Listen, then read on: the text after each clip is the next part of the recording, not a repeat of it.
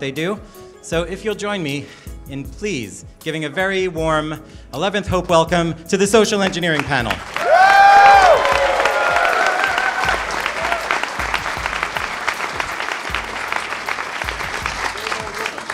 Well, greetings everybody. Here we are again, uh, the 11th Hope, social engineering.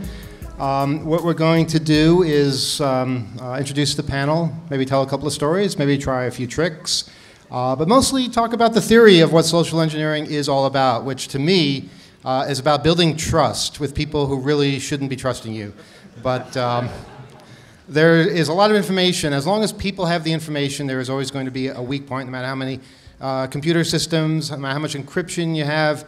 Uh, as long as you have one dimwit that will give you something they're not supposed to give you, you're going to be able to get in and uh, affect all kinds of chaos. And of course, that is the goal tonight. Um, my name is Emmanuel, and uh, I've been uh, social engineering pretty much all my life. Uh, it's a fun way to get around and get things done. Um, I'll tell a, a, a, couple of stories, I guess, uh, in, in, a bit, but I want to introduce the other members of the panel. We have Kyle over here. Hello, hackers. I hope everyone's having fun. Thanks for coming. We have Alex. Hey, everybody. And we have Bernie S. Greetings from Philadelphia. I probably sound better now than usual on the radio. But. Yeah, that's his tagline. You can't use it. Uh, so uh, we're going to start with some stories. Bernie, why don't you start since you're all the way over there um, with um, uh, a story of social engineering, maybe that you have um, performed in your life at some point that either benefited you or did not benefit you. All right, here's one. I, when, when you asked me recently, like like a couple hours ago, whether it be on the panel, I was like, what am I talking about? Oh, all right. I've been working on this project since early last year in Philadelphia. Uh, to uh, with a group of volunteers to build a nonprofit uh, community FM radio station, and uh, uh, there's a really good social engineering story behind it. Um, the uh, we got our FCC construction permit, which there was a lot of social engineering at pirate radio that led up to that over like 15 years before that, but that's a whole another story of social engineering. But uh, so we got our construction permit. We started building the the transmitter equipment and so forth. And uh, we needed a call sign. They don't just assign one to you randomly. You, you select from a, a database. Well, like internet domain names, all the good ones are taken. And there's just the only things left are like WXQZ or something that you can't, a useless acronym. I, I got that one. I have so um, you got that one? WXQZ. you got the good ones. So um, you can't give four letters anything. Not anymore.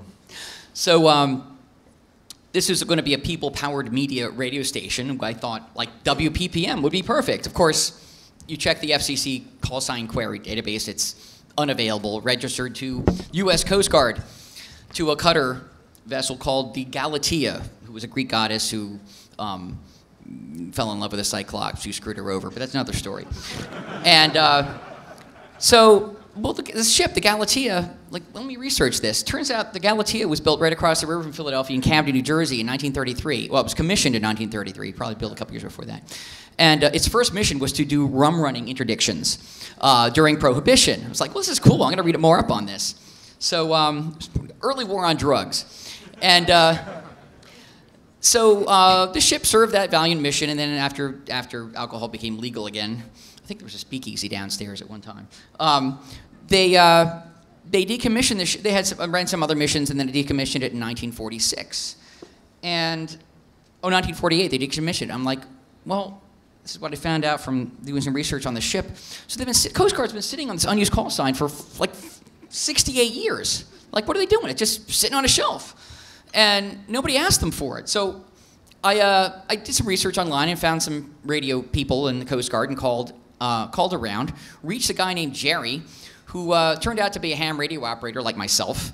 And I didn't have to, I didn't, like, I used just my name, Bernie S., not like my legal name. But, uh, you know, I told him that, uh, you know, I'm a ham like you. And uh, turns out he was the last Coast Guard uh, official to send a, a Coast Guard person to send a Morse code message when they got rid of Morse code in 95. So we bonded over that and Morse code. And it's like, wouldn't it be great, Jerry, if this former FCC calls, form, this former, if this Coast Guard call sign, WPPM, could, could again live a, a, a, a, a mission for the, for the community in, into, in, in, the cons, in consistency with the, the public service mission of the Coast Guard. And uh, he's like, yeah, yeah, yeah, let's do that. So he gave me a name of somebody in the Navy to call who manages all call signs for all vessels. I called a person in the Coast Guard, in the, in the Navy, and he said, oh, no, you got to to this other guy who's in the Coast Guard, and that guy was dead. So they had to find somebody to replace him. and then, uh, so I finally reached somebody they replaced them with, and they said, no, you got to talk to this person at the FCC. And then this person at the FCC said, you need to talk to this person at the Department of Homeland Security because the Coast Guard is part of that. And I talked to the Homeland, Homeland Security, then back. It's typical government bureaucracy, and back to the Coast Guard. I ended up talking about 10 different people in four different federal, uh, four different federal agencies over like two or three months. Finally reached a guy, or actually a woman in the Coast Guard. I explained this whole public service uh, mission of this, of this uh, of this call sign could be uh, could come alive again in the form of a, a nonprofit community radio station in Philadelphia, right across the river from when the Galatea was first launched.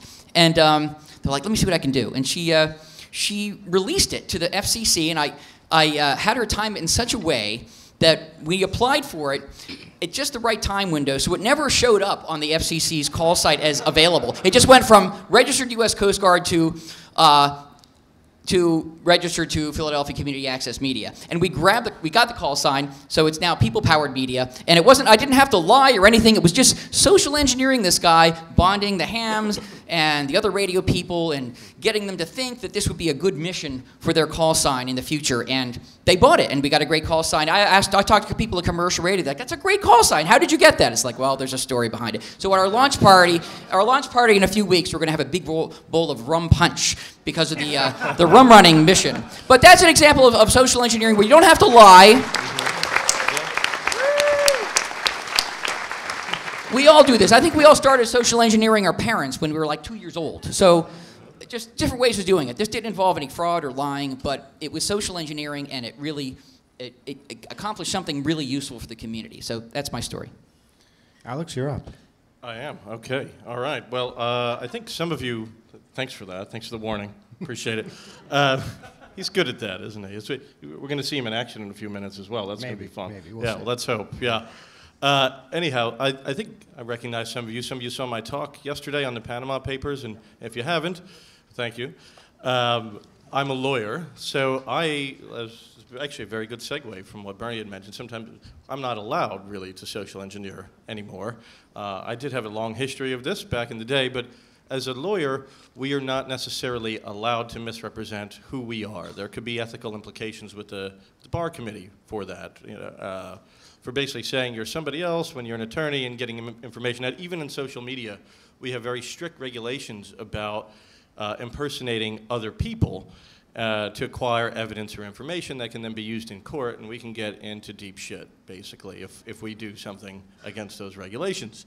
So I'm very constrained by that, but that doesn't mean that I have to be fraudulent. I can still social engineer. I can still essentially uh, use the trust of other people to my advantage, and I have done so in, many occasions, of course. One particular case comes to mind, and it's also another good segue because this was really in the public interest and it was a pro bono case uh, that I had several years ago, and it wound up in the New York Post and the Daily News, and we were on 1010 Wins and in New York Magazine. I represented a poor woman and her two kids, an indigent woman and her two kids that came out of a homeless shelter, and they lived in housing in Queens. And I inherited this case from an associate at my prior law firm. He left, and I thought, well, this is this will be good experience. I'll go into court.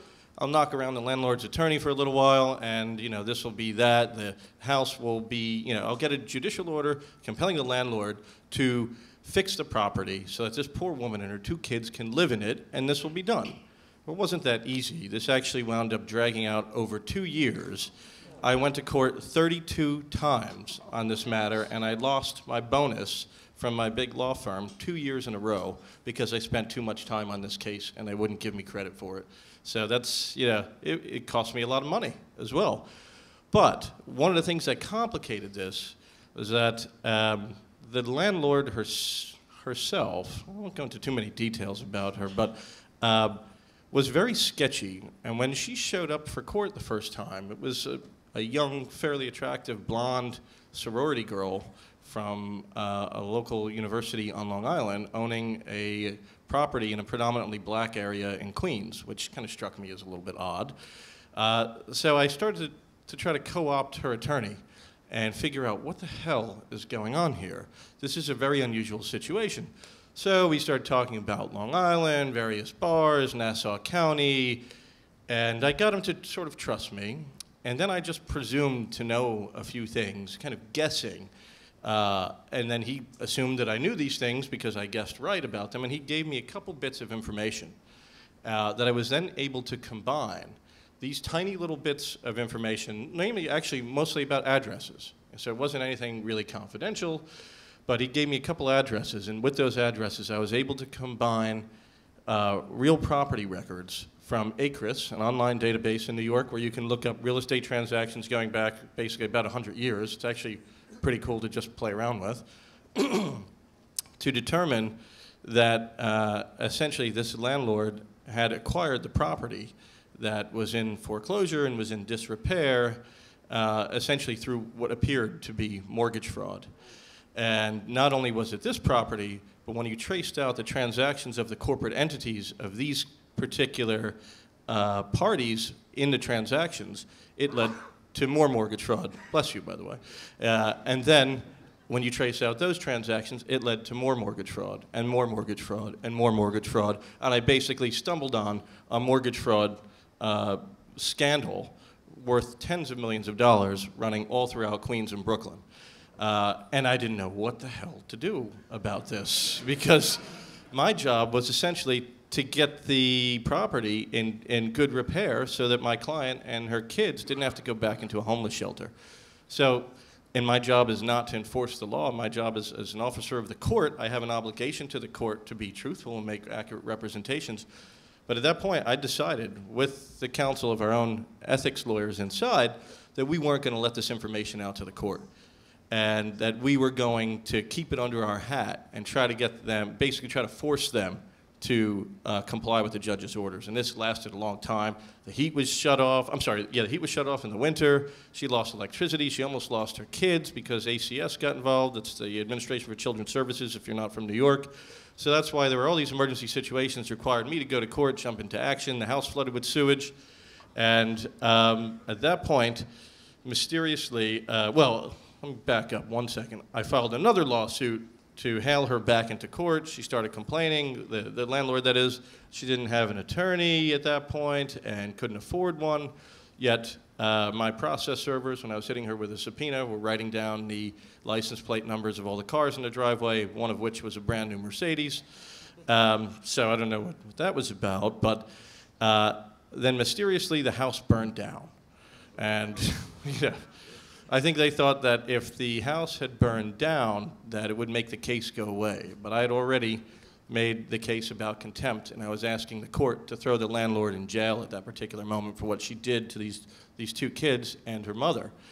And um, it became, uh, a, a, again, a pretty contentious situation, but we had got in touch with the Daily News and the New York Post and let them know that in open court we were going to break this mortgage fraud scandal and so they were sitting there in the courtroom when we broke this, and they had the reporters outside and uh, waiting for her to come out of the courtroom. And then all these stories came out, and we wound up settling the case and getting a decent amount of money so that this woman wouldn't have to essentially live her life back in a homeless shelter. But it was all because I co opted this guy, I got his trust. He gave me a little bit of information and I was able to use that entirely to my advantage. And I still do you know, a lot of things like this. I want to say I'm an unscrupulous lawyer, but um, uh, you know, I think having a hacker background definitely makes a uh, well, makes a world of a difference in negotiating tactics.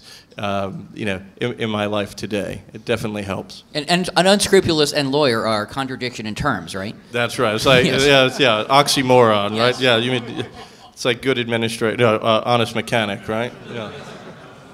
No, absolutely. Uh, this is these are skills you can use in any profession. Uh, just being alert, uh, noticing things, being able to connect with people, uh, that will get you very far.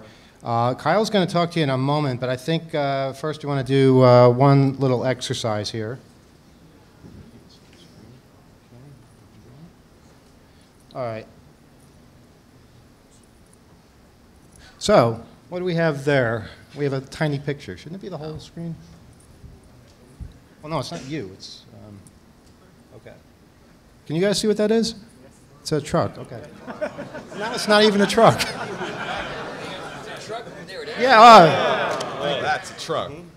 now you might see a truck like that all the time and not think anything of it. Um, but if you're a hacker, uh, you might see something and, um, and and think, "Wow, okay, there's something more here. There's a system at work." Uh, we hear this so many times at this conference. I've heard it in so many different areas uh, airplanes, trains, um, electronics, programming. We're always noticing things that nobody else cares about. And uh, Kyle and I were walking around um, a few weeks ago. We noticed one of these trucks. That's tiny again. Uh, and, and we were wondering okay, these trucks are everywhere. What are they doing? Because they're always they're going around in the middle of the night and they're outside of Starbucks. So we figured out that this uh, Bartlett company is actually the distributor for Starbucks in the Northeast. And so we figured, uh, you know, how, how does that work exactly? How does that relationship work? It doesn't say Starbucks on it. They don't want people to know that they're delivering to Starbucks. But it's not hard to figure out because it's an 18 wheel truck parked outside of Starbucks for about half an hour. Um, and we started wondering, okay, so how, how do these guys get into the Starbucks? You know, what's, how does that work? Do they have a special kind of code? Is, is the key left under the mat? Uh, is there an employee waiting for them someplace? We, we were curious, and that's really all it is. It's curiosity. We, we, we have no ill intent. Uh, we just we see a system at work here, and we're curious. How does that system work? Well, most people would just kind of give up at that point and say, well, I guess we're just not meant to find out. Um, but fortunately, uh, we know of this thing called the internet. Um, and I decided to, um, we all did this all within the last hour because we had nothing prepared, as always. But that's that's appropriate because social engineering is, is it's not something you practice. However, research and pretexting is is good to build on um, whatever kind of goal you're you're working on in the end.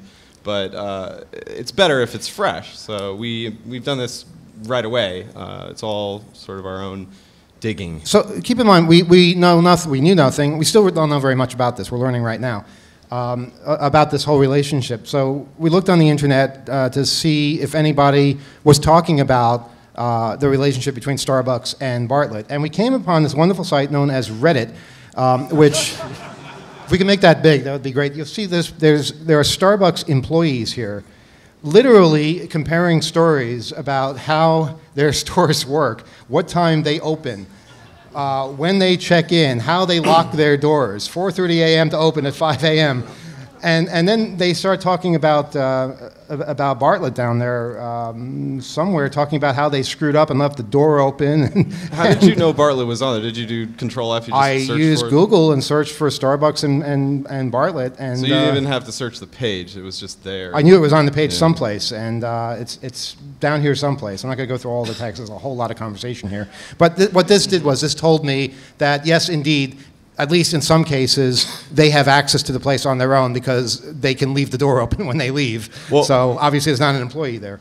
Right, but we still do not have any real like they didn't reveal necessarily like how they get in or the, the, the operational structure of how that works, but definitely the folly of having these guys there and the mistakes that are possible with that system. So now, uh, with social engineering, you, you pick up key phrases, you pick up, you pick up words, uh, and, and people trust you because you know those words.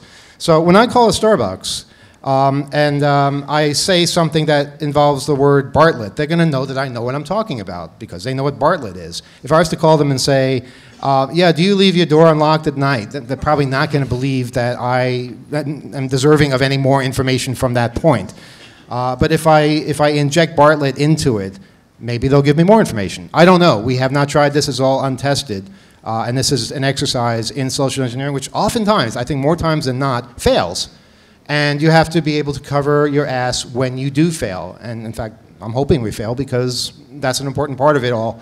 Is uh, you know you don't say oh my God you got me and, hang up. No, you know you, you, you back out of it gracefully so that they don't suspect uh, any anything beyond that one phone call. But your listening has to be tuned because in that failing, you could you could learn five different things you wouldn't have you wouldn't have been able to glean from any other source, but it was revealed in the context of them correcting you. People like to be right, so they want to correct you. They want to say no, no, actually no, this goes at this time or whatever it is. So you must be keen with your hearing as well. So the third uh, part of all this was a wonderful uh, store locator site uh, that uh, Starbucks runs, which gives you every phone number for every store. So we can just go down the list. Uh, have a dial tone? Okay, let's not blast the audience too much. Um, I'm going to dial the number now. I don't care if the number gets out. Oh, and uh, please try not to make too much noise while I'm talking. It's awfully uh, switch on. hard to explain. Yeah, but when I'm talking, I mean.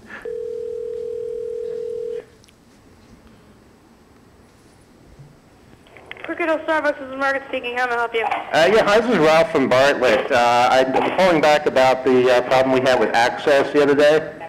What's that? Uh, we had some trouble with access the other day. I'm calling from Bartlett.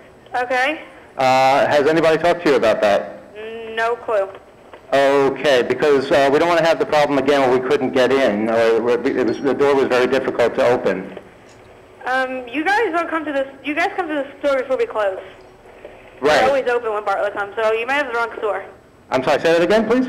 I said uh, we're always open when Bartlett comes, so Maybe I'm calling the wrong one. Which, which store is this? this is Crooked Hill. Oh, I think, yeah, I think you're right. I think we might have the wrong store. Yeah, let's say because uh, Bartlett's always here before we close.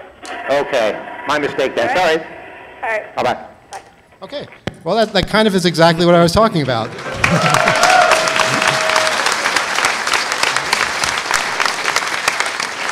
Did she give you? Did I she love give this you, panel. I can fail and still get applause. Yeah. Yeah, But did she give you the name of a store that does close? Well, I did. Did, I, did she? Because I, I, thought didn't she hear did. it. Did we hear that? I think she. No, she Oh, said she- uh, uh, you must have the wrong store. Okay. Which, which tells me a couple of things. There are stores where it is closed, Right. And when they come, and, but they're always open. So now I know that. I know when Bartlett comes, they're open. So um, yeah, so I, I'll, I'll try another store then, and maybe I'll, I'll get lucky, or maybe I'll find someone another store that um, that they're always open for. So um, I don't have any specific stories because I have so many. I, I, I kind of maintain, uh, in in contrast to what Alex was saying, that we're we're already we're always misrepresenting ourselves. I mean, I don't want to get too Shakespearean, but I think I think that there that charisma, that empathy I've talked about uh, on the panel in the past. Those are part of all of our personalities, and I dare say part of survival in a lot of ways. Um, whether it's uh, you know getting your phone bill corrected or um, or getting out of a situation. I mean, I think uh, us us telling NSA security we were looking for a restaurant by the museum there. I think that counts. Well, yeah, when you're pulled over by a bunch of NSA cops, you have to tell them something. Yeah, and well, and when you have when you have a hundred millimeter, you know, have a camera between, you know, and you're you're definitely doing some uh, some capturing of imagery, and so that that was a situation where, yeah, it was like, oh, the camera was on the floor, and I'm like trying not to be a journalist, and I that's actually apropos. I think there's a lot going on with that now, and as someone who is a journalist, I kind of represent. I often, when we travel, mi- represent myself or misrepresent myself as someone who is not in journalism because of, uh, well, how things have been going and and uh, how they may go here in this country. Um, Well, sweet talking cops. That's definitely uh, Absolutely. a, a good use of Absolutely. social engineering. The- the uh, one- officer, I wasn't. I wasn't up to anything really. Yeah. And Yeah, um, looking normal. It doesn't work when you go on the roof though. So don't, Right. don't try it then. yeah, the, the, the security will they'll, they'll give the story to the cops uh, uh, right from the video. But uh, Alex, what you were talking about also process service. I was a process Yes. server at one point, and that's ripe for it. That doesn't Uh, surprise me. But it was interesting work. But yeah, I mean, there are so many hats you can wear, so many different types of jobs Yeah. uh, to gain entry, to um, to to get a sense of what's on the other side. If it's the other side of the door, if it's uh, a system, whatever that may be. You have a, a plethora of things you can be to someone else to uh, to get what- get at uh, information or, or whatever the goal is. Uh, The important thing is to be seen as, as a trusted person. Like Yeah. For instance, um, okay, I'll, I'll give you an example. Um, you walk into a bank. I've, I've done this. I've, I've walked into many banks. Um, and the, the, the bank that I use most often, they know me. So they don't ask me for ID when I, when I withdraw money. However, other branches don't.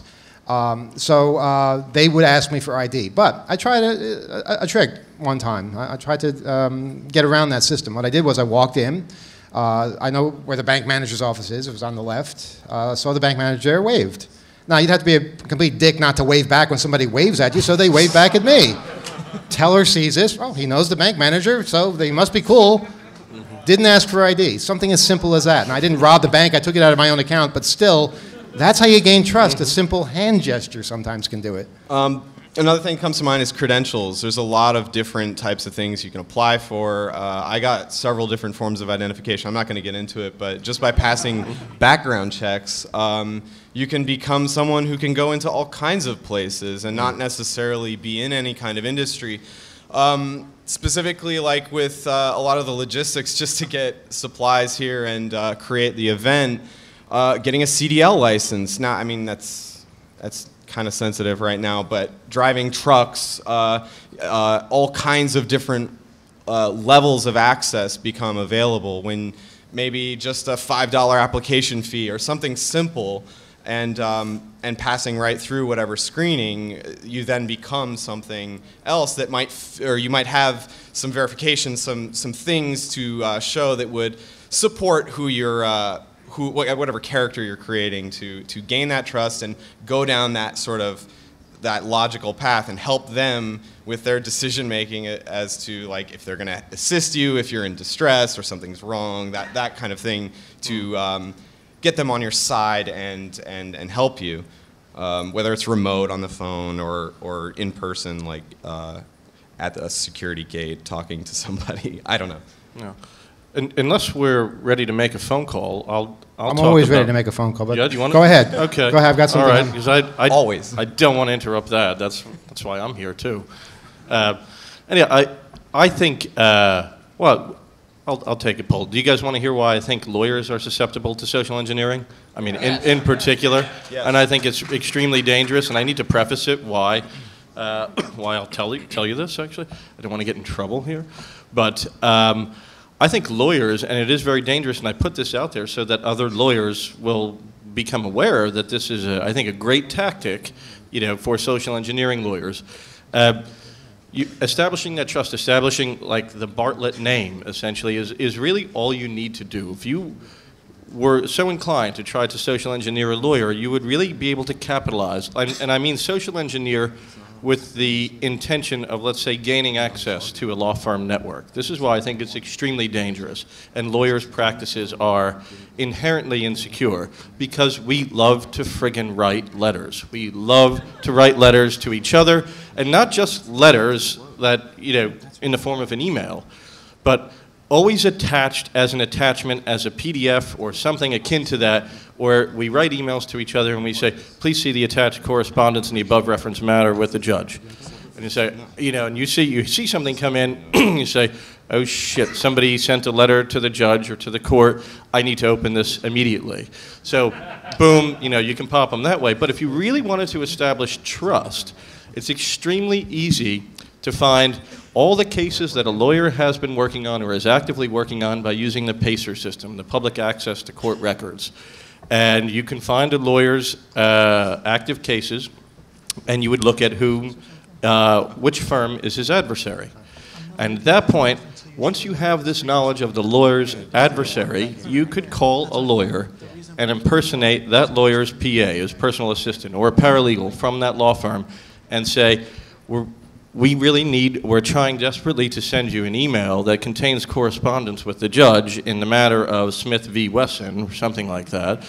And uh, for some reason, it's getting bounced by your email server. So without even registering, let's say, a confusingly similar domain name that would impersonate the adversary's law firm, you could then say, I'm going to send this to you from our Gmail. I really hope that this gets through. Uh, it's an extremely important letter. You send it over.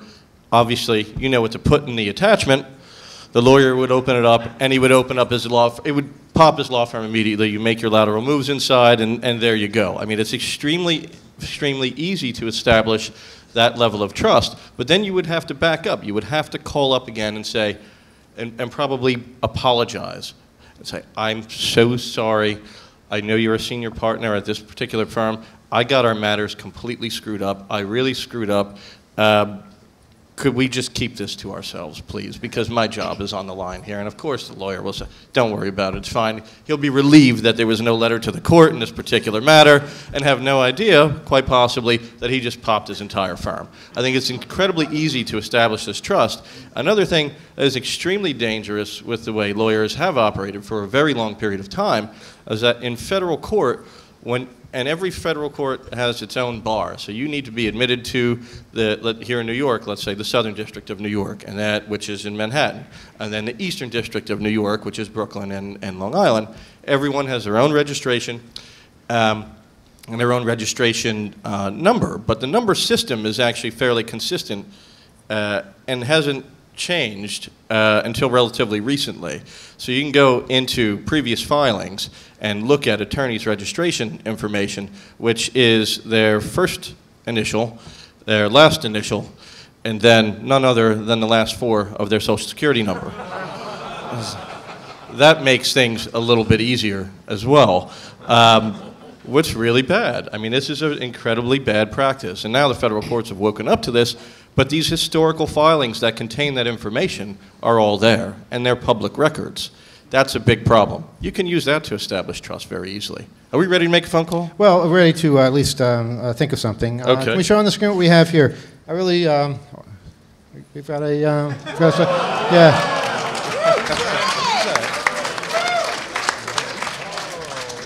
I want to fuck with this guy. I really do. I feel. I mean, look, we've got a, a 10 gig network. We've got uh, 3,000 hackers. Um, the world's gone insane. So you know, what, we have a moral responsibility to do something. Uh, all right, so so uh, a couple of things first. Uh, there's there's a phone number on this uh, on this website. I don't know what's going to happen if I call it. I'm going to try to call it. I don't know what I'm going to say if they answer.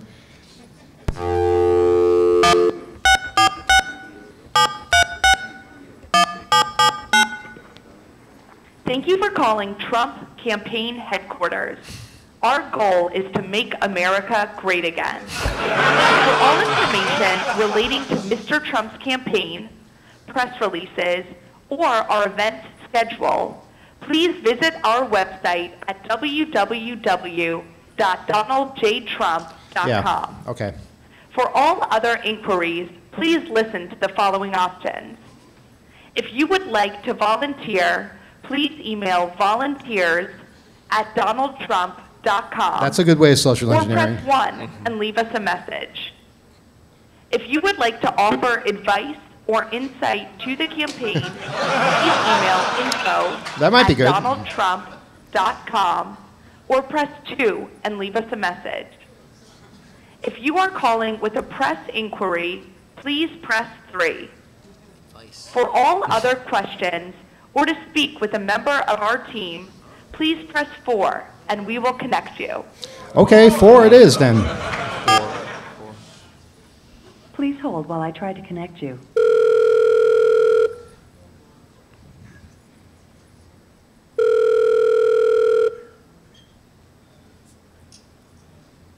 Just realized I have no idea what I'm going to say to these people.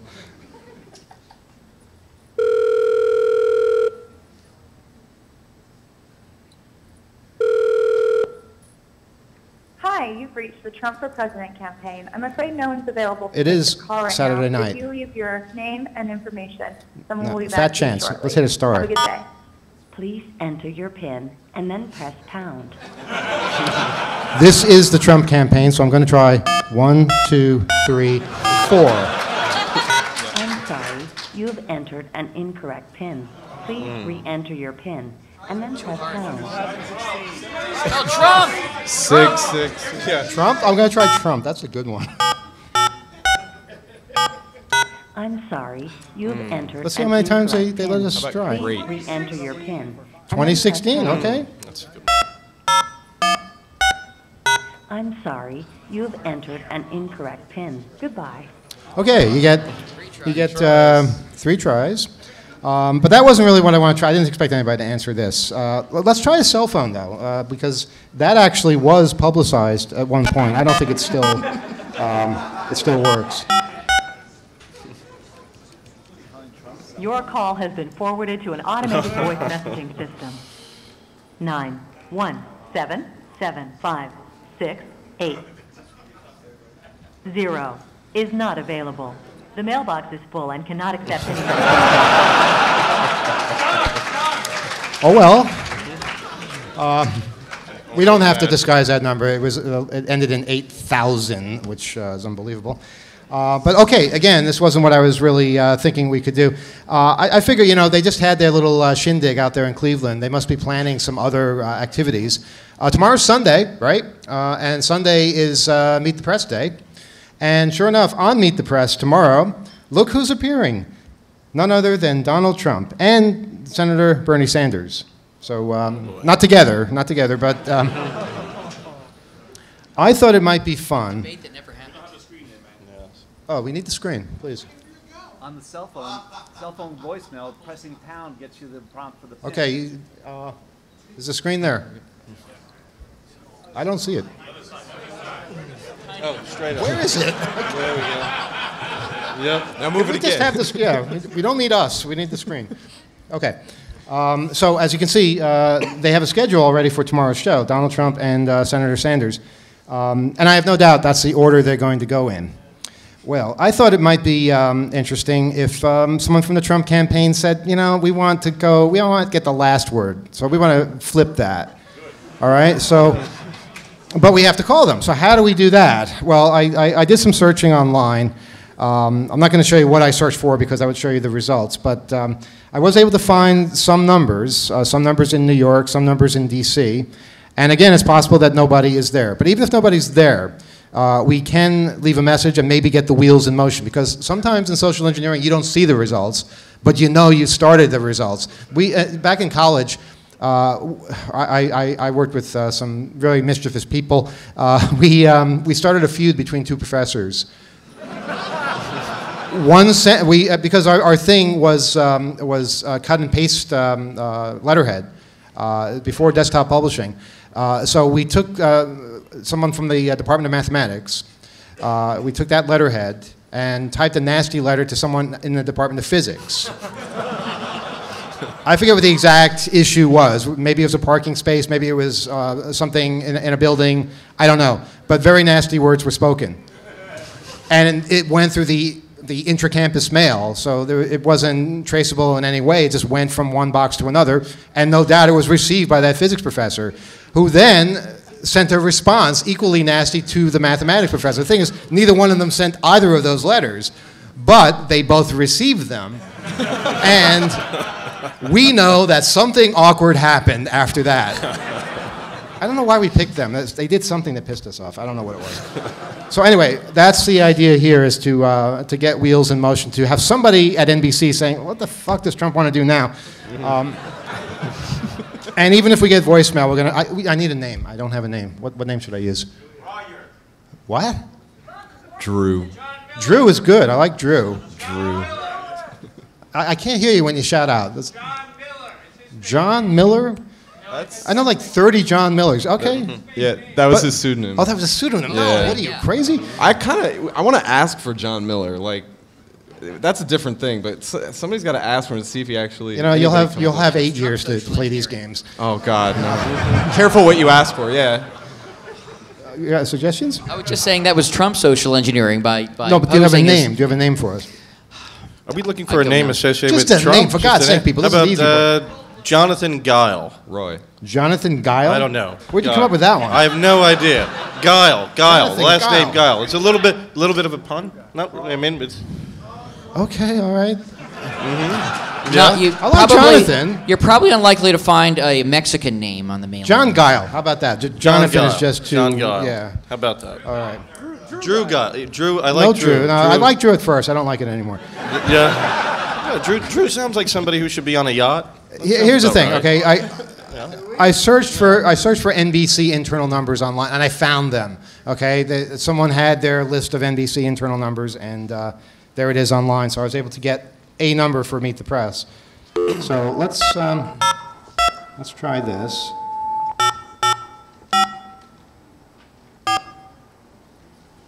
my own writing. I think that's a five.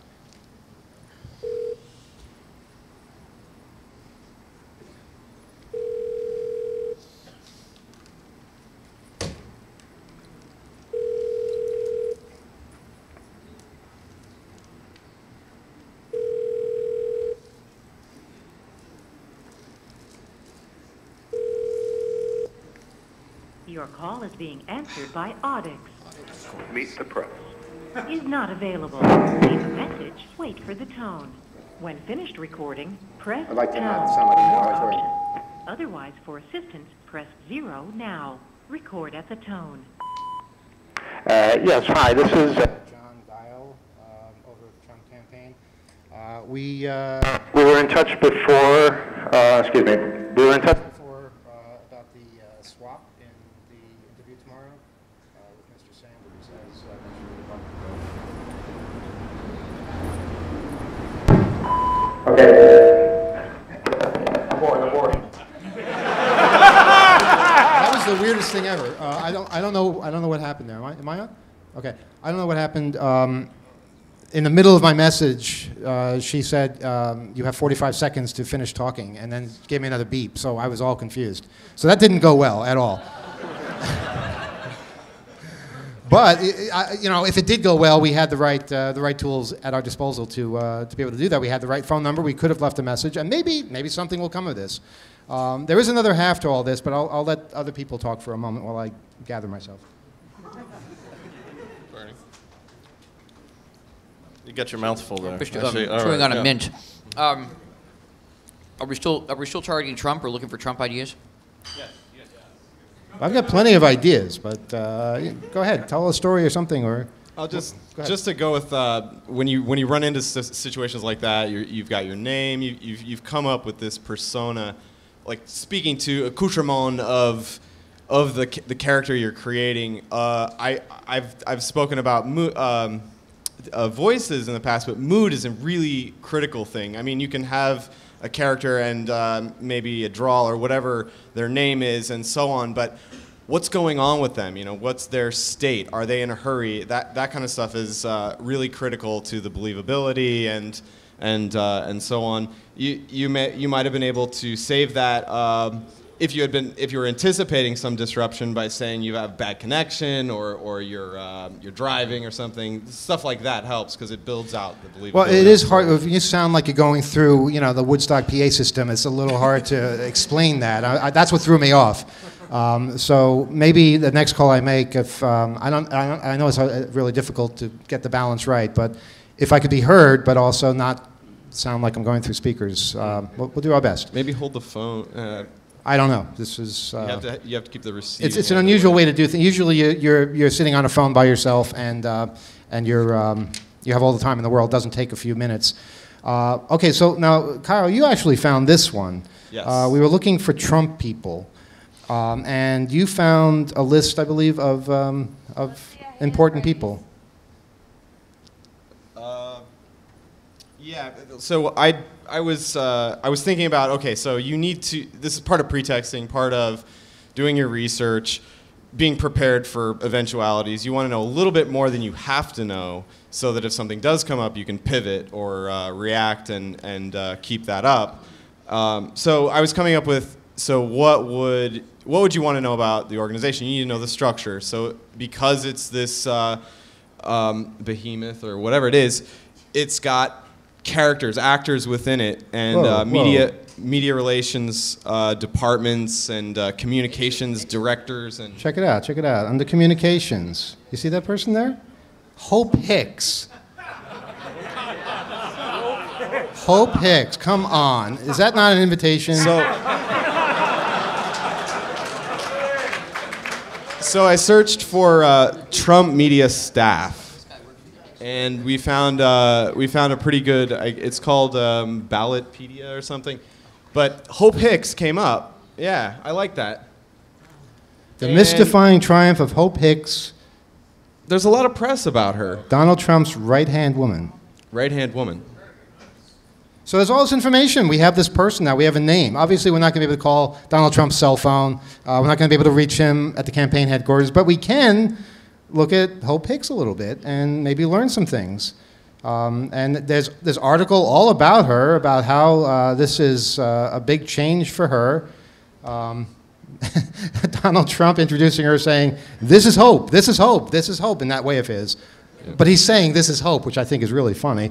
Uh, and we basically we scroll down through this whole article, which is really a very long article about this one person.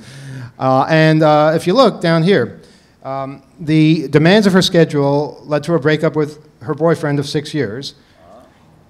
And while she technically still lives in Greenwich with her sister, Mary Grace, when she's not traveling on Trump Force One, she stays in, a, in, in New York in a Trump apartment provided by the campaign. Well, okay, what have we learned here?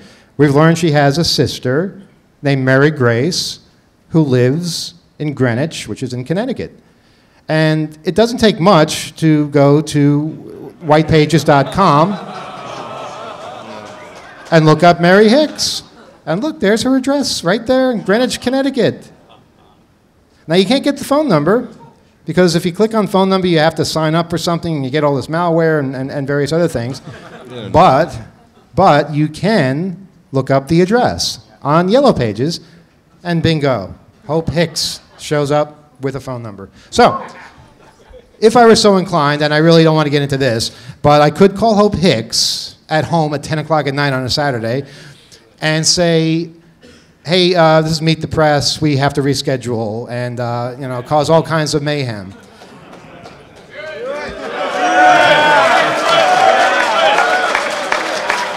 All right, all right. I'll give it a shot, but, but, let's keep the speaker down. I'm going to dial star six seven this time, which I forgot to do the other two times. Do you know, when, when, oh, yeah, this is really weird. When, when you call out on this phone, do you know what the caller ID says? It says hope. Now,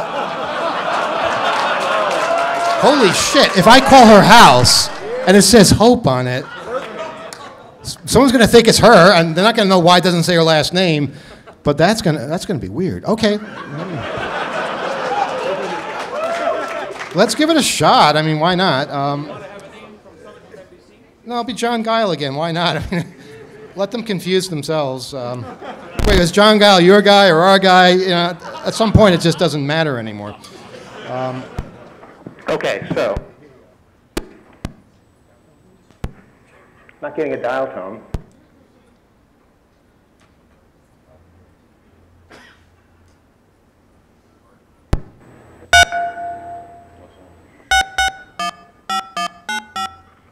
The, the number?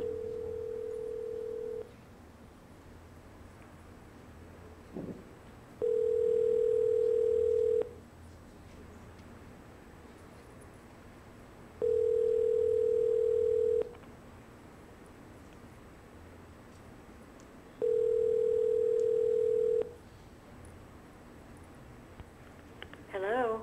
Uh, hello, uh, we're looking for Hope Hicks. You're calling me at this hour of the night, and Hope doesn't even live here. Oh, I'm sorry, this is the only number that we have. I have. apologize. This is uh, Meet the Press. I'm sorry, we have this number. Hello? Well, what, what did we learn from that? This happens We learned that, Yeah. that Mary Grace and Hope aren't on the best of terms right now. Because she didn't even offer to take a message, and for God's sake, she works for Trump, you know? This could be important.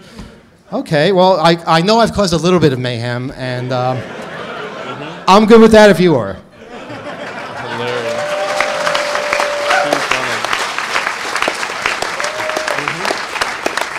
Oh, but Donald, it's just beginning. It's just beginning. We have all kinds of things planned. Uh, any, any questions? Do we have a microphone there? If anybody wants to come up and, and tell their story or ask a question of us, um, Can you guess Trump's? use the microphones right there, not far. Can you guess Trump's PIN? You have his cell phone number. It goes to voicemail. Can you guess his PIN? Well, not in front of an audience in five minutes, no, but. Right, um, and it only gave us three tries. It only gives three tries. I mean, you, you know, put me in a hotel room for a weekend, maybe I could, yes. Let's all try. Microphone. Mi- I'm not listening to people who just shout out from the audience. Attack. Anyone else? You're a shy bunch. It's, uh, no questions? We're overwhelmed. Yeah, uh, okay, yeah, you're stunned. You're, you're, you're you're shocked. Starbucks headquarters. Ask if their refrigerator's running. Okay, all right. We're, we're a little bit beyond that, Well- all right. Well, I, I think that th- this meet the press scenario, if it wasn't so impromptu, and you literally had a couple of hours of And preparation, it wasn't 10 o'clock at night on a could- Saturday. It could be really highly effective all, to just prepare it with one email to this meet the press person. Of I- course, I, yeah. see. I see that you have some numbers and names here on. These, these are the numbers that, that we got just from an hour ago, looking it up on Google and, and looking up people's names and things like that. But you see, you know, how easy it was to reach somebody who was one Yeah. step away from someone uh, of influence. Not hard at all. We didn't wind up doing anything, uh, and we might have just basically gotten a whole lot of suspicion, but we did get to those people. Uh, if you leave anything on the internet, you can be gotten to as well. It's, um, it's really, really easy. There's, there, there are very few people that can cover their tracks. Um, but it's not hard to cover your tracks. You don't have to give your phone number out and your Facebook account. You don't have to use real information. You can confuse the system as much as possible and give, uh, give fake info and fake details. And that way, when people try and start mischief with you, it, it might be a little bit more difficult. Uh, you know, eventually they could get something, but if you have fake information out there, um, maybe, maybe you'll be safe for a little longer, or maybe you'll know somebody is trying something, you'll get hints. You have a question, go ahead. Um, what are your feelings on responsible disclosure in social engineering? Uh, such do as? We, do we have responsible disclosure? You know, do we have a responsibility to disclose if we find significant vulnerabilities? How do you, how do you draw that line? It depends uh, what you are doing it for. I mean, if, if you're doing it for nefarious purposes, obviously that's not going to be high on your list. Uh, Someone in the hacker community, uh, well, what we do is we, we print it in a magazine when we find out things. So I consider that to be disclosure. We're telling people things. Um, keeping it to yourself, I don't think that's really very responsible. It's a bit selfish. Uh, but but sharing sharing security vulnerabilities, including uh, social engineering ones, I think is something that we need to learn from, and that other people benefit from from uh, others' failings. Maybe I was imagining it because no one else commented on it. But when you're on the make the meet the press call, it said didn't it say or press zero to if you need assistance? Uh, okay, then I would have gotten to meet the press operator, but probably I would have gotten another voicemail at this hour. You think so? Yeah, probably would have. Again, I, I wasn't really trying to, uh, to screw it up so much, but more demonstrate how easy it is to get to the right people. Um, I, I feel if it had succeeded, it probably would have been worse than if it had failed. I mean, I don't know. I'm not sure how they would have reacted to that. Go ahead. Uh, someone was avoiding the call, so I made up a name that sounded like a descendant of a former president, like Ulysses something, Grant something or other, and started getting through with things like that. Okay. I don't really understand that, but all right. I think he's saying historically speaking, there's there's been precedents and Mhm. uh, precedents with presidents. I don't know. How do we have an Thank incoming you. call? You know what? It's probably Mary Grace calling back. I'm sorry, Mary Grace. I really feel bad about this. No, I am not. No, no, no, no. Fine, fine, fine, fine. Hello? I'm calling from Meet the Press. I'm calling for returning your phone. Oh, yeah, well, why is You know,